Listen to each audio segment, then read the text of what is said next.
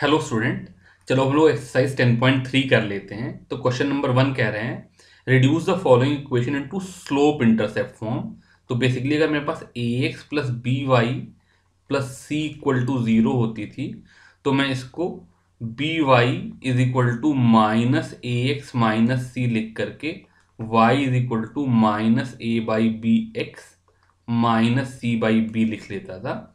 ये मेरा स्लोप हो जाता था m minus a by b और ये मेरा इंटरसेप्ट हो जाता था। तो मैं एक एग्ज़ाम्पल कर दे रहा हूँ, तीन प्रॉब्लम है। जैसे अगर x plus seven y equal to zero है तो यहाँ से y की value minus one by seven x plus zero आ जाएगी। तो जो मेरा स्लोप हो जाएगा, वो माइनस वन बाई सेवन हो जाएगा इंटरसेप्ट ज़ीरो हो जाएगा।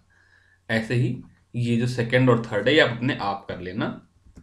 क्वेश्चन नंबर टू में कह रहा है reduce the following equation into intercept form and find their intercept on the axis तो ये x by a plus y by b is equal to one वाला फॉर्म होता था। तो मैं a x plus b y plus c को a x plus b y minus c लिख लेता था। और फिर पूरी इक्वेशन को माइनस सी से डिवाइड कर देता था।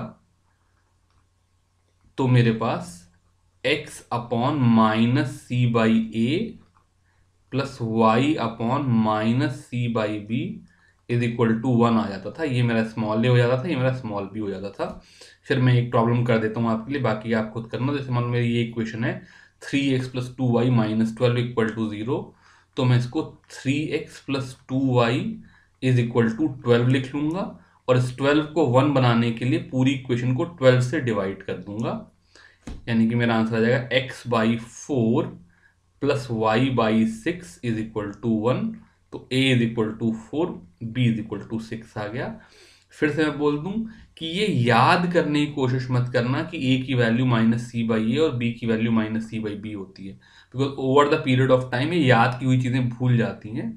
तो हमेशा ये चीज़ याद रखने की कोशिश करो और ये फॉर्म बनाने की कोशिश करो, इससे अपने आप आंसर आ जाएगा। क्वेश्चन नंबर थ्री में कह रहे हैं reduce the following question into normal form तो ये थोड़ा सा ट्रिकी है, इसलिए फिर से मैं बता दूँ नॉर्मल फॉर्म में क्या करते थे? A x plus b y is equal to minus c लिख करके दोनों side root of a square plus b square से डिवाइड कर देते थे। तो a upon root of a अब ये जो टर्म है, अगर ये अगर पॉजिटिव होता था तो एज सच छोड़ देते थे। अगर नेगेटिव होता था तो पूरी इक्वेशन को, अगर ये नेगेटिव होता था तो पूरी इक्वेशन को माइनस वन से मल्टीप्लाई कर देते थे, ताकि मेरा राइट हैंड साइड वाला जो टर्म है पी ये पॉजिटिव हो जाए और इस तरीके से हम लोग इसको सॉल्व कर लेते थे। मैं इसके दो एग्ज़ाम्पल करके दिखाऊँगा, क्योंकि इसमें थोड़ा सा दिक्कत ज़्यादा है। तो पहला एग्ज़ाम्पल है x minus root three y is equal to minus eight. अब मैं दोनों साइड अगर under root of a square plus b square से डिवाइड करूँ तो मेरा ए वन है, बी रूट थ्री है तो root of a square plus b square की वैल्यू जाएगी under root of one plus three, यानी कि टू। तो दोनों साइड अगर मैं टू से डिवाइड करूँ तो मेरी इक्वेशन ये बन गई।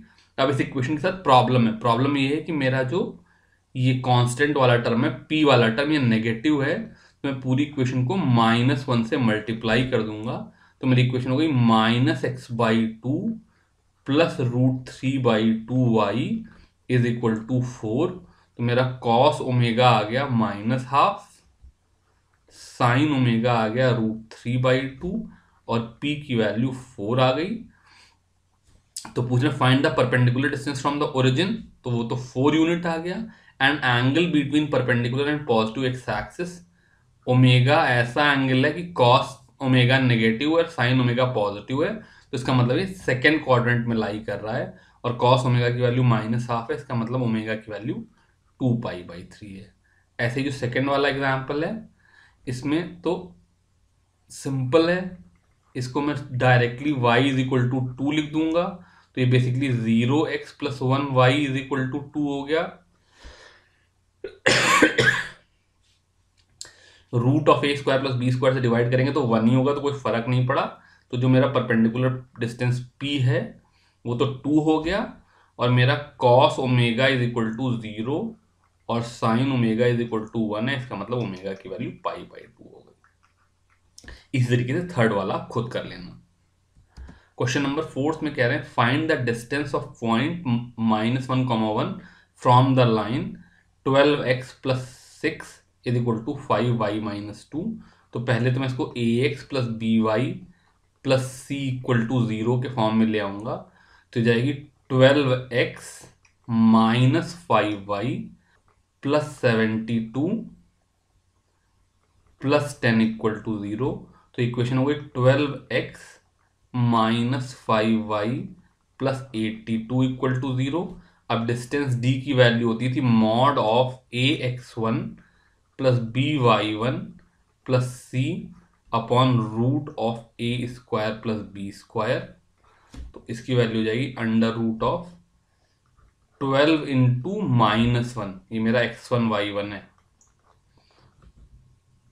Minus five into one plus eighty two upon under root of twelve square plus five square तो ये थर्टीन हो जाता है। तो सॉल्व करके इसकी वैल्यू जाएगी माइनस ट्वेल्व माइनस फाइव, यानी कि minus seventeen plus eighty two, ये सिक्सटी फाइव बाई थर्टीन का मॉड हो गया तो फाइव यूनिट्स आ गया। क्वेश्चन नंबर फाइव में कह रहे हैं, find the point on the x axis. तो एक्स एक्सिस पे पॉइंट है तो मैं इसको एच कॉमा ज़ीरो ले लूँगा। Whose distance from the line are four unit तो फिर अगर मैं इस इक्वेशन को a x plus b y वाले फॉर्म में कन्वर्ट करूँ तो ये x by three plus y by four is equal to one है। ट्वेल्व एल्सियम ले लूँगा तो मेरे पास four x plus three y minus twelve equal to zero हो जाएगी। अब डिस्टेंस डी की वैल्यू हो जाती है mod of four h plus three into zero minus twelve upon root of four square plus three square और इसकी value four हो गई। इसका मतलब four h minus twelve by five की वैल्यू या तो प्लस फोर है या माइनस फोर है। फिर से बता दूँ, अगर mod a is equal to b होता था तो ए की वैल्यू प्लस बी हो सकती थी या फिर ए की वैल्यू माइनस बी हो सकती थी।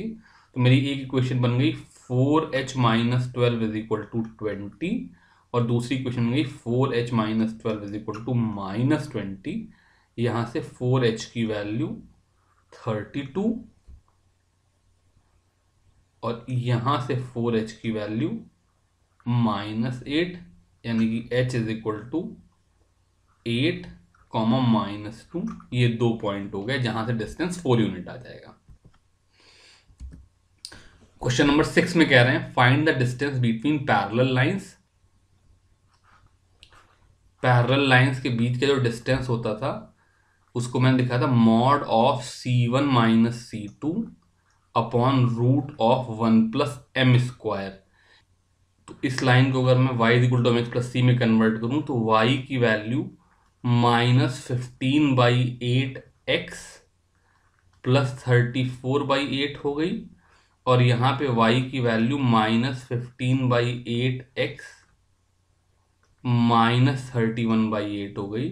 जो डी की वैल्यू हो जाएगी, वो जाएगा mod of thirty four by eight minus of minus यानी कि plus thirty one by eight upon under root of one plus fifteen square by eight square इसको सिंप्लीफाई करेंगे तो ये नंबर आ जाएगा sixty five by eight upon seventeen by eight का mod तो एट एट कैंसिल हो जाएँगे, सिक्सटी फाइव बाई सेवनटीन आ जाएगा।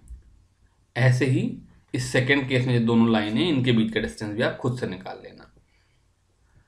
क्वेश्चन नंबर सेवन में कह रहे हैं find the equation of line parallel to three x minus four y plus two and passing through the point minus two comma three तो अगर कोई लाइन इसके पैरेलल होगी तो उसकी equation three x minus four y plus c equal to zero हो जाएगी। X और वाई के कोऑर्डिनेट सेम हो जाएँगे कांस्टेंट वाला टर्म डिफर हो जाएगा। अब इस लाइन की खास बात क्या है कि माइनस टू कॉमा थ्री से पास हो रही है तो इसका मतलब three into minus two minus four into three plus c equal to zero हो जाएगी। तो ये माइनस सिक्स माइनस ट्वेल्व यहाँ से सी की वैल्यू एटीन आ गई। तो इसके पैरल ऐसी लाइन जो कि माइनस टू कॉमा थ्री से पास हो रही हो, इसकी इक्वेशन आ गई। Three x minus four y plus eighteen equal to zero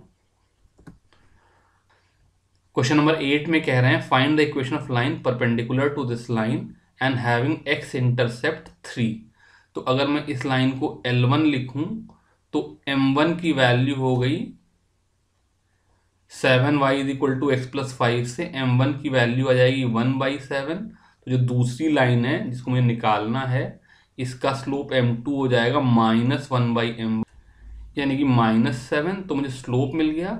और इसका एक्स इंटरसेप्ट थ्री है। इसका मतलब ये थ्री कॉमा ज़ीरो से पास हो रही है। तो ऐसे कंडीशन में y is equal to m x minus d equation होती थी।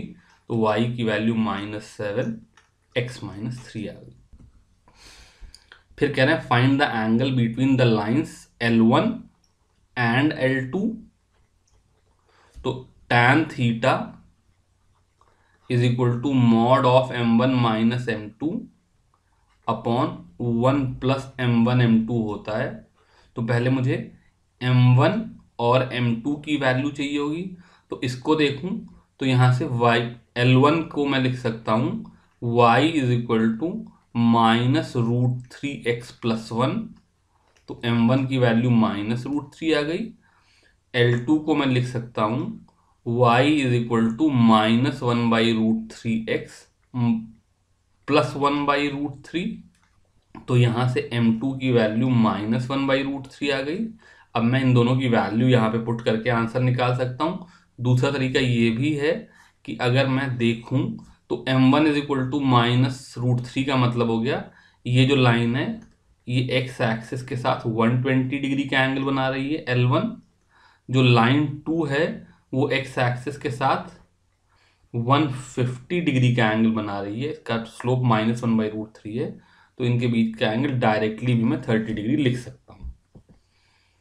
क्वेश्चन नंबर टेन में कह रहे हैं the line through point h comma three इसको ए लिख लें एंड फोर कॉमा वन इसको बी लिख लें intersect the line this at right angle तो अगर इस लाइन ए बी को एल वन लिखूं और इसको एल टू लिखूँ तो मेरा एम वन एम टू की वैल्यू माइनस वन होनी चाहिए। यहाँ से एम वन आ जाएगा one minus three upon four minus h जो कि two upon h minus four हो गया। यहाँ से m2 आ जाएगा इस लाइन का स्लोप तो इस लाइन को मैं सिंप्लीफाई करूँ तो nine y is equal to seven x rather minus seven x minus nineteen यहाँ से y is equal to minus seven by nine x minus nineteen by nine आ गया। तो m2 की value minus seven by nine आ गई। अब मेरे पास m1 आ गया m2 आ गया। तो मैं लिख सकता हूँ two upon h minus four into minus seven by nine is equal to minus one. Solve करके एच की वैल्यू निकाल लेंगे और वहाँ से आंसर आ जाएगा। क्वेश्चन नंबर इलेवन में कह रहे हैं prove that line through point x one comma y one इसको पी लिख लेता हूँ। And parallel to line a x plus b y plus c equal to zero is this तो ये जो लाइन है एल वन इसके लिए अगर मैं स्लोप एम वन निकालूं तो उसकी value minus a by b होगी। अब जो मेरी दूसरी लाइन एल टू है, इसका स्लोप एम टू भी माइनस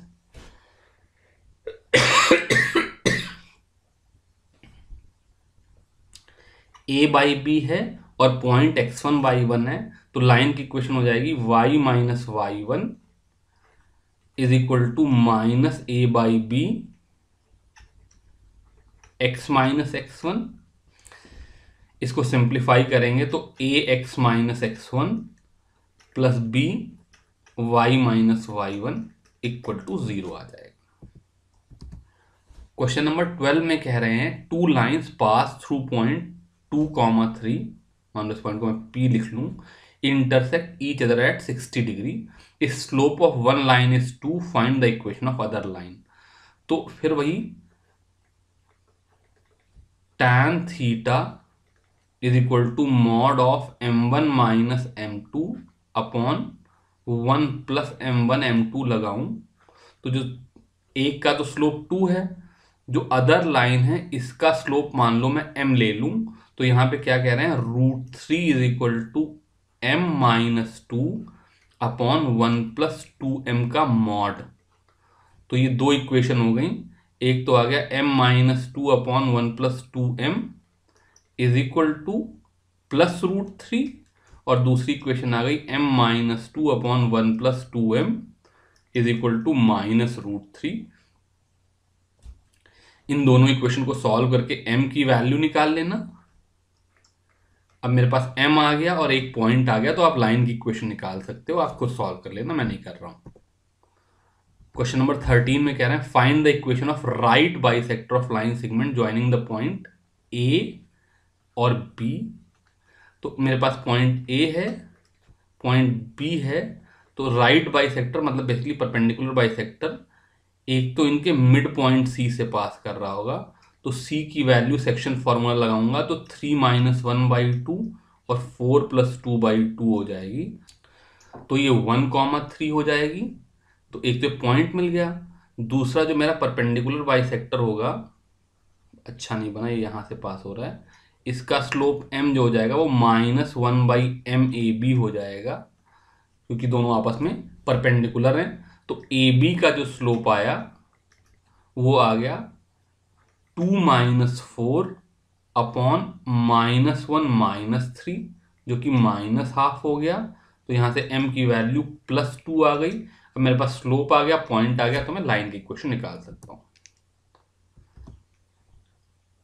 क्वेश्चन नंबर फोर्टीन में बोल रहे हैं find the coordinates of foot of perpendicular from the point minus one comma three to the line this तो सपोज़ करो मैं इस लाइन को एल वन लिखूँ, इस पॉइंट को पी लिखूँ तो मेरी लाइन एल वन कुछ ऐसी है पी कोई दूसरा पॉइंट है, मुझे पी से foot of perpendicular q drop करना है।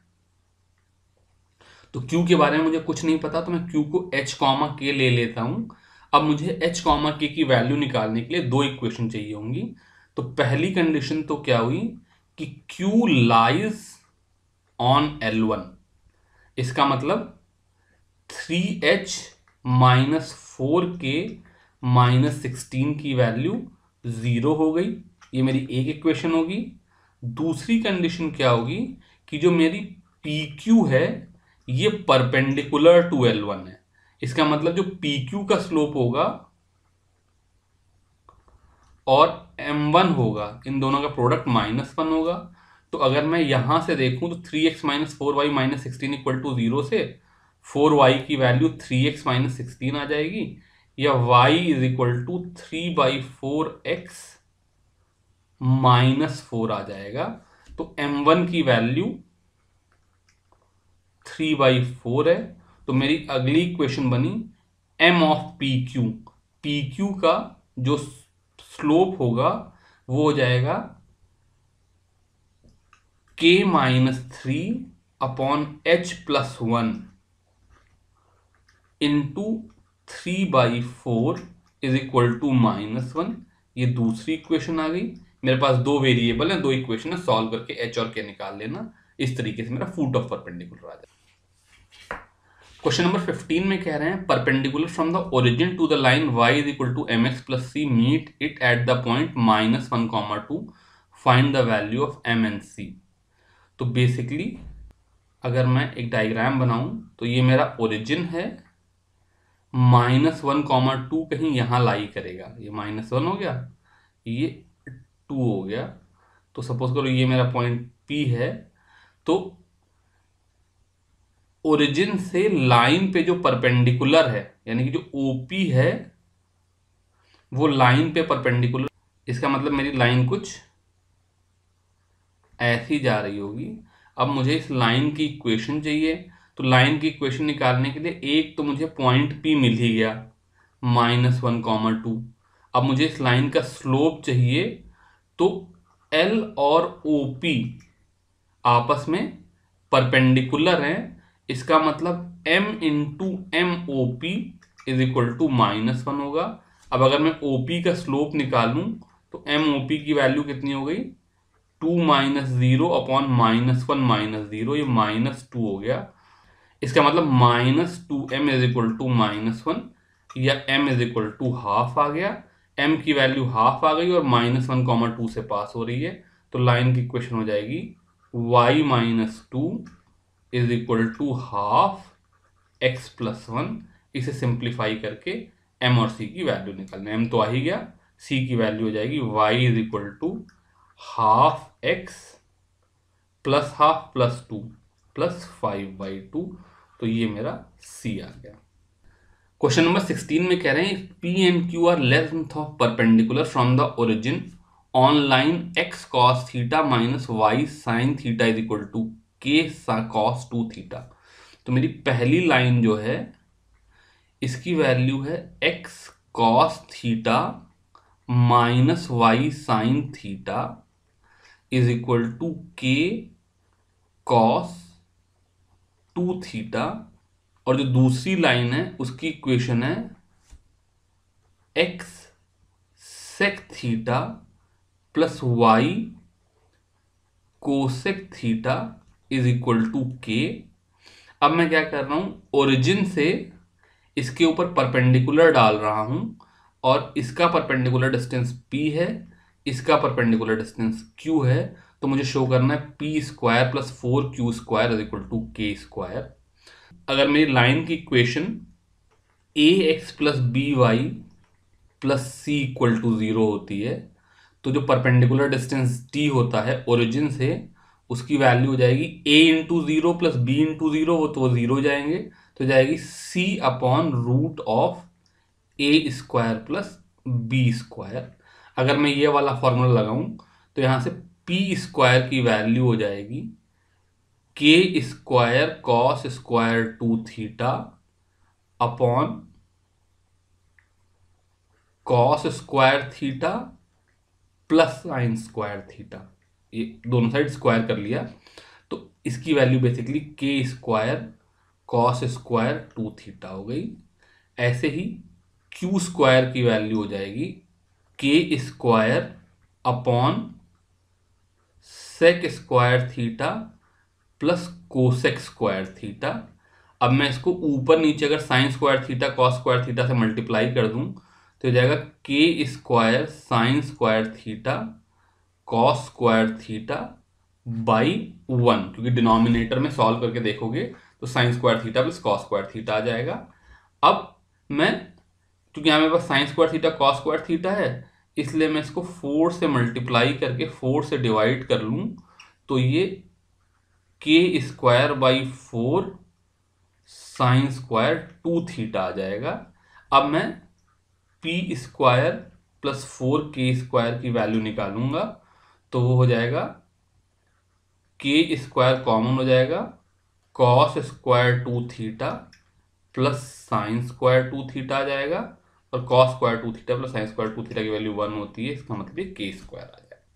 क्वेश्चन नंबर सेवनटीन में कह रहे हैं in the triangle a b c with vertices a is equal to two comma three b is equal to four comma minus one and c is equal to one comma two find the equation and length of altitude from the vertex a तो ये मेरा point है ए two comma three ये point है b four comma minus one और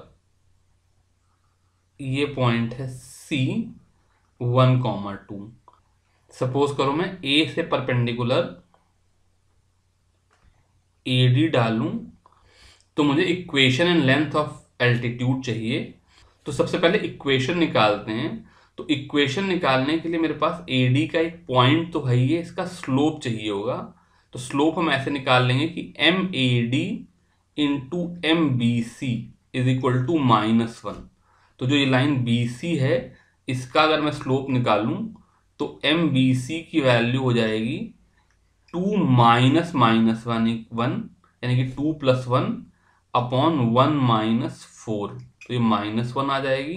तो A D का जो स्लोप आ जाएगा, वो प्लस वन आ जाएगा। अब मेरे पास स्लोप आ गया पॉइंट आ गया तो इक्वेशन ऑफ़ ए डी जो आ जाएगी, वो आ जाएगी y minus three is equal to one x minus two तो यहाँ से x minus y plus one equal to zero आ गई। अब मुझे डी ये पॉइंट चाहिए या ये परपेंडिकुलर डिस्टेंस चाहिए। तो लेंथ ऑफ़ एल्टीट्यूड निकालना बहुत सिंपल है।